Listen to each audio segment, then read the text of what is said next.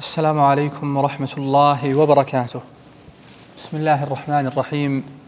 الحمد لله رب العالمين، اللهم صل وسلم وبارك على عبدك ورسولك نبينا محمد وعلى آله وصحبه ومن اقتفى سبيله واتبع منهجه وسار على دربه إلى يوم الدين وسلم تسليما مزيدا. أما بعد فنسأل الله جل وعلا بمنه وكرمه أن يعلمنا ما ينفعنا وأن ينفعنا بما علمنا وأن يزيدنا علما وعملا إنه جواد كريم. سبحانك لا علم لنا إلا ما علمتنا إنك أنت العليم الحكيم.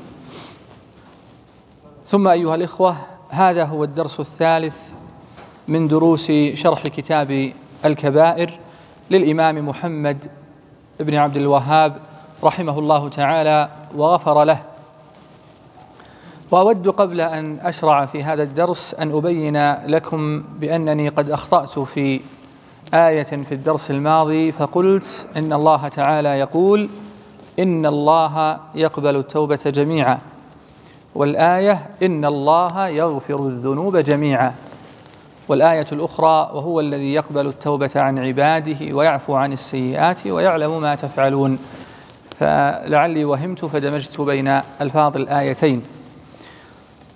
ثم أيها الإخوة ذكرت لكم فيما سلف أن المصنف رحمه الله تعالى رتب كتابه هذا على ما يلي ذكر مقدمة ذكر مقدمة يسيرة شملت آيات وآثار تبين أن الذنوب منها كبائر وصغائر ومسائل أخرى سبق بيانها. ثم ذكر أكبر الكبائر. ثم ذكر أبواب كبائر القلب ثم ذكر أبواب كبائر اللسان ثم ذكر أبواب كبائر الأفعال ثم ذكر الكبائر المتعلقة بالمظالم. ونحن في هذا الدرس سنبدأ ببيان أكبر الكبائر. قال المصنف رحمه الله تعالى باب أكبر الكبائر. في الصحيحين عن أبي بكرة رضي الله عنه قال قال رسول الله صلى الله عليه وسلم ألا أنبئكم بأكبر الكبائر؟ قلنا بلى يا رسول الله. قال الإشراك بالله وعقوق الوالدين وكان متكئا فجلس فقال ألا وقول الزور ألا وشهادة الزور فما زال يكررها حتى قلنا ليته سكت استفتح المصنف رحمه الله تعالى سرده للكبائر في هذا الكتاب ببيان أكبر الكبائر. وقد سبق وأن ذكرت لكم أن الذنوب وإن كانت تنقسم إلى صغائر وكبائر فإن الكبائر كذلك تتفاوت في مراتبها. فمنها ما يخرج عن الملة ومنها ما يكون دون ذلك. وقد بين لنا نبينا صلى الله عليه وسلم في هذا الحديث أكبر الكبائر. فقال عليه الصلاة والسلام الإشراك بالله وعقوق الوالدين وكان متكئا فجلس. فقال ألا وقول الزور ألا وشهادة الزور. فالكبيرة الأولى الشرك بالله والشرك أيها الإخوة هو جعل شيء من خصائص الله لغير الله. جعل شيء من خصائص الله لغير الله في الربوبية أو في الألوهية. وهو على قسمين شرك أكبر مخرج عن الملة وشرك أصغر لا يخرج عن الملة. وكلاهما من كبائر الذنوب. فلا تفهم من قولنا شرك أصغر أن هذا الشرك من صغائر الذنوب لا. بل الشرك وإن كان في تقسيمه ينقسم إلى أكبر وأصغر إلا أن المراد التفريق بين ما يخرج عن الملة مما لا يخرج عن الملة وإلا فكلا القسمين من كبائر الذنوب بل من أكبر الكبائر لأنها ظلم في حق الله تبارك وتعالى كما قال الله سبحانه إن الشرك لظلم عظيم. ومثال الشرك الأكبر أن يدعى مع الله غيره أو يصرف شيء من أنواع العبادة المتقرب بها لله لغير الله كالذبح أو النذر أو الخوف أو غير ذلك وسواء كان ذلك لطلب القربة أو طلب الشفاعة أو غير ذلك كل ذلك من قبيل الشرك الأكبر. قال الله تعالى ويعبدون من دون الله ما لا يضرهم ولا ينفعهم ويقولون هؤلاء شفعاؤنا عند الله. وقال تعالى إنا أنزلنا إليك الكتاب بالحق فاعبد الله مخلصا له الدين. هذا التوحيد. ثم قال تعالى ألا لله الدين الخالص والذين اتخذوا من دونه أولياء ما نعبدهم إلا ليقربونا إلى الله زلفى. هذه حجتهم. يدعوهم ليقربوهم إلى الله أو يشفعوا لهم. ما نعبدهم إلا ليقربونا إلى الله زلفى ومع ذلك كانوا كفارا. إن الله يحكم بينهم فيما هم فيه يختلفون. إن الله لا يهدي من هو كاذب كفار. فسماهم كفارا وإن كانوا يقصدون القربة والشفاعة. هذا مثال الشرك الأكبر. وأما الشرك الأصغر فمثاله الرياء والحلف بغير الله وقول ما شاء الله وشئت وقول لولا الله وفلان. كل هذا من قبيل الشرك الأصغر. يقول نبينا صلى الله عليه وسلم أخوف ما أخاف عليكم الشرك الأصغر. قالوا يا رسول الله وما الشرك الأصغر؟ قال الرياء. وليس ذلك حصرا بالشرك الأصغر وإنما المراد بيان مثال للشرك الأصغر. فأخبر النبي صلى الله عليه وسلم أنه الرياء والحديث صحيح رواه أحمد وغيره. وقال نبينا صلى الله عليه وسلم في شأن الحلف بغير الله من حلف بغير الله فقد كفر. أو أشرك والحديث صحيح رواه أبو داود وغيره. ولما قال رجل للنبي صلى الله عليه وسلم ما شاء الله وشئت قال له عليه الصلاة والسلام أجعلتني لله ندا؟ قل ما شاء الله وحده. هذا كله من قبيل الشرك الأصغر. ومن الشرك الأصغر أيضا لبس الحلقة والخيط لرفع البلاء أو دفعه. ومن الشرك الأصغر أيضا تعليق التمائم خوفا من العين. كل هذا إذا اعتقد أن هذه أسباب كل هذا إذا اعتقد أن هذه أسباب لرفع البلاء أو دفعه فإنها تكون من قبيل الشرك الأصغر. وأما إذا اعتقد أن الحلقة أو الخيط أو العين أو صورة العين أو غيرها من التمائم إذا اعتقد أن هذه الأمور ترفع البلاء أو تدفعه بنفسها فهذا شرك إيش؟ هذا شرك أكبر. إذا اعتقد أنها أسباب فهو شرك أصغر لأن الله لم يجعلها أسبابا.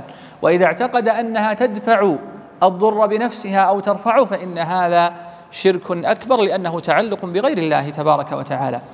ووجه كون الشرك من الكبائر أن الله لا يغفره إلا بالتوبة منه. فإن مات صاحب الشرك على الشرك فإن الله لا يغفره له.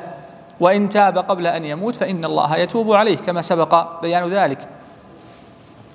والله تبارك وتعالى يقول إن الله لا يغفر أن يشرك به ويغفر ما دون ذلك لمن يشاء. هل يشمل ذلك الشرك الأكبر والأصغر؟ هل يشمل ذلك الشرك الأكبر والأصغر في الآية؟ إن الله إن الله لا يغفر أن يشرك به ويغفر ما دون ذلك لمن يشاء. هل يشمل الشرك الأكبر والأصغر أم يختص بالشرك الأكبر؟ يشمل أحسنتم يشمل الشرك الأكبر والأصغر. ما الدليل؟ الدليل أن الله تبارك وتعالى حينما قال إن الله لا يغفر أن يشرك به المصدر المؤول من الفعل المضارع هنا هنا من الفعل المضارع هنا يشرك وهو مبني للمجهول ومنصوب والناصب له أن أليس كذلك؟ المصدر المؤول هنا والذي هو في محل نصب مفعول به للفعل يغفر مصدره شركا به وشركا به نكرة فتفيد العموم. فالمصدر المؤول من قوله تعالى أن يشرك به شركا به وشركا به نكرة فتفيد العموم. وهذا يعم الشرك الأكبر والأصغر فالله لا يغفر الشرك الأكبر والأصغر إن مات صاحبه ولم يتب منه. والشرك الأكبر يختص بوجوه أخرى في كونه من أكبر الكبائر من ذلك أنه محبط للعمل. يقول الله تبارك وتعالى ولقد أوحي إليك وإلى الذين من قبلك لئن أشركت ليحبطن عملك ولتكونن من الخاسرين. بل الله فاعبد وكن من الشاكرين فمن أشرك مع الله غيره ووقع في الشرك الأكبر فإنه يحبط سائر عمله. ويختص الشرك الأكبر أيضا بوجوه أخرى كالحرمان من دخول الجنة وكوجوب التخليد في النار. يقول الله تبارك وتعالى إنه من يشرك بالله فقد حرم الله عليه الجنة ومأواه النار وما للظالمين من أنصار. وكل هذا يجعل الشرك من أكبر الكبائر. الكبيرة الثانية التي هي أيضا من أكبر الكبائر عقوق الوالدين. عقوق الوالدين. ما ضابط عقوق الوالدين؟ ما ضابط عقوق الوالدين؟ هذه المسألة أيها الإخوة كما قال النووي رحمه الله تعالى قل من تكلم عنها بضابط يحده. قل من تكلم عنها بضابط يحده. ولكي أوضح لكم كلامي هذا سأسألكم لو أن الأب قال لابنه سافر معي. سافر معي. أيجب طاعته؟ من اللي يقول نعم؟ طيب. إذا كان الابن موظفا وسيفصل من وظيفته إذا سافر أيجب طاعته؟ لا إذا تغير الكلام. طيب. إذا أمر الأب ابنه أن يتزوج من فلانة أيجب طاعته؟ لا. طيب. إذا قال الأب لابنه طلق زوجتك أيجب طاعته؟ لا. إذا تقدم الابن لوظيفتين وقال الأب توظف في الوظيفة الفلانية وليس في الوظيفة الفلانية يجب طاعته؟ إذا كان لدى الابن مال وقال الأب اشتري بيتا يكفينا جميعا يجب طاعته؟ إذا أمر الأب ابنه أن يأتي إليه بعد صلاة المغرب لأنه سيحضر إليه ضيوف والابن ليس عنده شيء حينئذ لا وظيفة ولا غير ذلك. أيجب طاعته؟ إذا المسائل الحقيقة مختلفة. منها ما قد ترددتم فيه ومنها ما جزمتم بأنه نعم أو لا.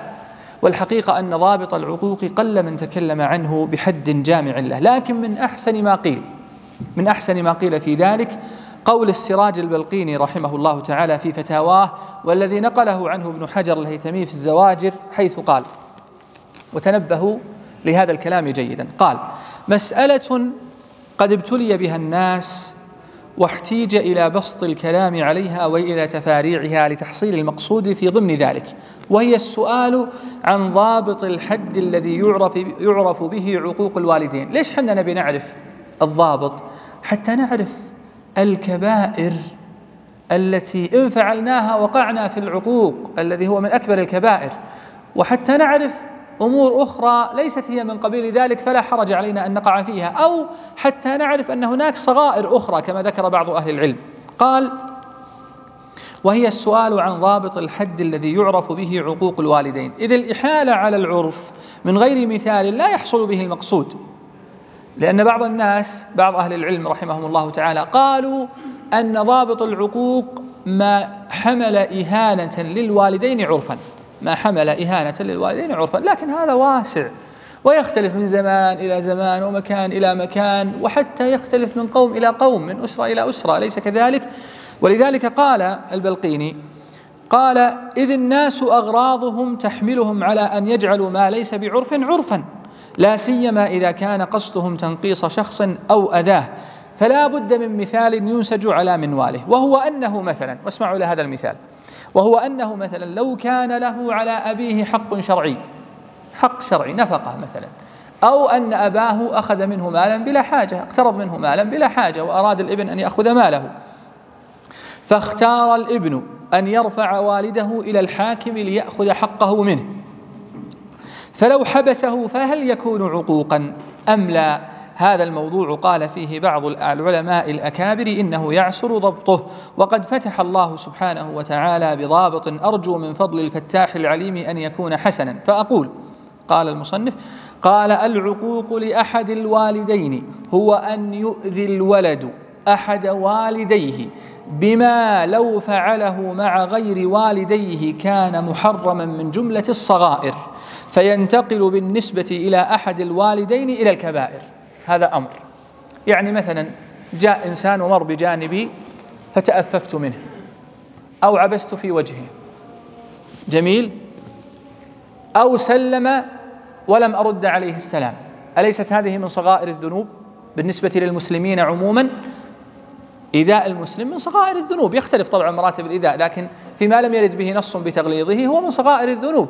عدم رد السلام من صغائر الذنوب. عدم إعطاء المسلم حقه الشرعي الواجب له تجاهك من صغائر الذنوب. أنا أتكلم عن حقوق العامة. فإذا فعلتها تجاه الوالدين صارت إيش؟ صارت من الكبائر. أي صغيرة تفعلها مع الخلق فعلها تجاه الوالدين يصيرها كبيرة وهذا من العقوق. هذا ضابط. قال أو أن يخالف أمره أو نهيه فيما يدخل فيه الخوف على الولد من فوات نفسه أو عضو من أعضائه ما لم يتهم الوالد في ذلك. مثلا قال الوالد لولده لا تسافر لا تسافر. وين رايح الولد؟ قال أنا أريد أن أذهب لأعمل لآتي بعمرة لأقوم بعمرة. الوالد خاف على ابنه. صغير في السن تو تعلم قيادة السيارة. ما يجيد قيادتها بالشكل المطلوب الصحبة ليست كثيرة. قال له لا تسافر يجب طاعته. ما لم يتهم الوالد في ذلك. ما لم يتهم الوالد في ذلك ما معنى هذا؟ معناه أن الوالد إما إنما منعه تعنتا. كثير من الآباء للأسف الشديد يمنع أبناءه من الخير تعنتا. فإذا كان يمنع الإبن تعنتا فليس هذا بعقوق إذا خالف أمره. إذا كان يمنع الإبن إذا كان يمنع الإبن نكاية به مثلا لأنه لم يطعه في أمر آخر هذا تعنت ولا يجوز له أن يفعل ذلك. هذا أيضا إذا خالف الإبن أباه في ذلك الأمر ليس من العقوق. قال أو أن يخالف أمره أو أو نهيه فيما يدخل فيه الخوف على الولد من فوات نفسه أو عضو من أعضائه ما لم يتهم الولد الوالد في ذلك. قال أو أن يخالفه في سفر يشق على الوالد وليس بفرض على الولد. الضوابط دقيقة جدا. أو أن يخالفه في سفر يشق على الوالد وليس بفرض على الولد. قال الولد أنا أريد أن أسافر. ستة أشهر يا والدي. لماذا يا ابني؟ أريد أن أتعلم اللغة الإنجليزية. هل تحتاجها في وظيفتك؟ لا لكن قد أحتاجها مستقبلا. قال الوالد لا تسافر أنا أحتاجك تخدمني وأنا كبير في السن. يجب الطاعة ولا ما يجب؟ يجب. يجب. وإذا خالف أباه كان عاقا. قال الولد لوالده أنا أريد أن أسافر. لماذا يا ولدي؟ أنا أريد أن أعمل وآتي بقوت أبنائي. أريد أن أعمل وآتي بقوت أبنائي. ما عندي وظيفة في هذا البلد. قال له الوالد لا لا تسافر. اخدمني أفضل من أن تذهب وتسافر. أنا أحتاجك أنا كبير في السن. يجب طاعته؟ لا يجب. ولا يكون عقوقا. لأن المصنف هنا قال أو أن يخالفه في سفر يشق على الوالد وليس بفرض على الولد. الولد لما سافر ليأتي بقوت عياله هذا فرض عليه وليس أو ليس بفرض؟ فرض عليه. إذا هنا إن قال له أبوه اجلس فقد تعنت. ولا يجب حينئذ طاعته. قال قال أو في غيبة طويلة فيما ليس بعلم نافع ولا كسب. هذا من ضمن ذلك. قال أو فيه وقيعة العرض لها وقع. مثلا الولد يريد أن يسافر. أو البنت الآن يعني هذا أقرب مثال. أو البنت تريد أن تسافر. لماذا تريدين السفر؟ يا ابنتي أريد أن أسافر لأتوظف. وأبوها كافيها في النفقة وكافيها في كل احتياجاتها الضرورية. لا ما تسافرين. يجب طاعة الأب ولا ما يجب؟ يجب. بخلاف الإبن بخلاف الإبن الذي يريد أن يسافر مثلا ليكون نفسه ليتزوج. لماذا؟ لأن البنت قد تجر على عرضها وعرض أسرتها ما يذم. فهنا يجب الطاعة وعند الخلاف عند خلاف ذلك يكون العقوق. هذا من أحسن الضوابط التي ذكرت من أحسن الضوابط التي ذكرت عند أهل العلم رحمهم الله تعالى. ثم الكبيرة الثالثة هذا طبعا هذا ما يخص عقوق الوالدين وهي الكبيرة الثانية التي هي من أكبر الكبائر. الكبيرة الثالثة التي هي من أكبر الكبائر شهادة الزور أو قول الزور. قال النبي صلى الله عليه وسلم ألا وقول الزور ألا وشهادة الزور. ما هو الزور؟ قال الطبري رحمه الله تعالى أصل الزور تحسين الشيء ووصفه بخلاف صفته حتى يخيل لمن سمعه أنه بخلاف ما هو به. ولذلك قال ابن حجر في الفتح أيضا وضابط الزور وصف الشيء على خلاف ما هو به. وقد يضاف الزور إلى القول كالكذب وقد يضاف إلى الشهادة فيختص بها وقد يضاف إلى الفعل. كما في حديث النبي صلى الله عليه وسلم في الصحيحين المتشبع بما لم يعط كلابس ثوبي زور. وعليه فيكون قول الزور وشهادة الزور. كل قول أو فعل باطل يخيل الشيء على خلاف حقيقته. يقول الله تبارك وتعالى وإنهم ليقولون منكرا من القول وزورا.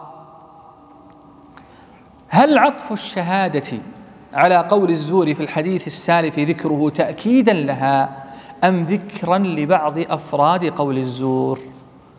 يعني حينما قال النبي صلى الله عليه وسلم ألا وقول الزور ألا وشهادة الزور هل يقصد في قول الزور في الجملة الأولى هي نفسها شهادة الزور وإنما ذكرها تأكيدا أو ذكر مثالا لقول الزور فتكون شهادة الزور مثالا فقط ويدخل في قول الزور جميع ما يذكر على خلاف حقيقته فيكون كل ذلك من الكبائر. هذه مسألة مهمة لمعرفة مناط الكبيرة من غيرها ولعلي أرجئها للدرس القادم. أسأل الله تبارك وتعالى أن يصلح قلبي وقلوبكم وعملي وأعمالكم إنه لذلك القادر عليه والله أعلم. وصلى الله وسلم على نبينا محمد وعلى آله وصحبه أجمعين والحمد لله رب العالمين.